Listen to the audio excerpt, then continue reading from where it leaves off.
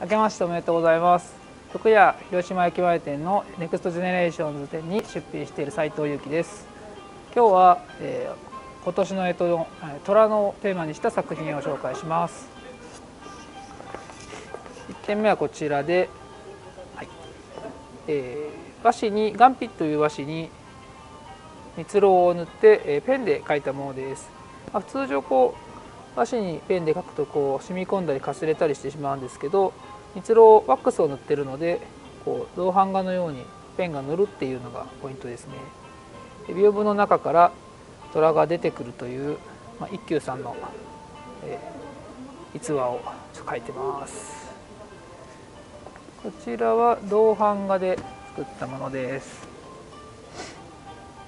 和紙に銅版を2枚使って重ねて吸っています、えー、虎の、えー、テーマは同じなんですけども、えー、版を1枚ずつカットして黒い方がちょっとこう不定形になっているので騙し絵のような感じになっています。こちらは最小の作品で切手ぐらいのサイズですかね。はい。こんな感じで。で1枚黄色く染めた箸が入ってます。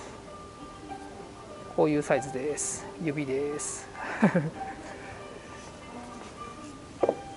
まあ同じテーマでも素材を変えて僕は作ったりするんで、まあ、お好きなのを選んでいただけたらなと思います。最終日までいますのでよろしくお願いします。